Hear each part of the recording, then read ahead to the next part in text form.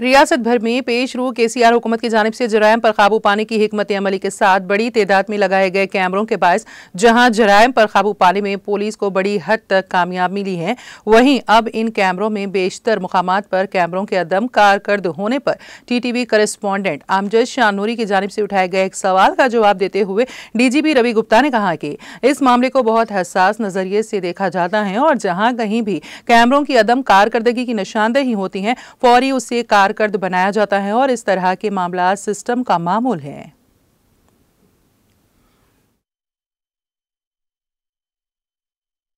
इसमें ज़्यादातर crime CC कैमरे में कंट्रोल होगा है सर किस तरीके से सीसी कैमरे कहाँ तक चालू है सर कहाँ तक बंद है? ज़्यादातर हमें मालूम होता है कि सीसी कैमरे बंद है सर कई जगह पर।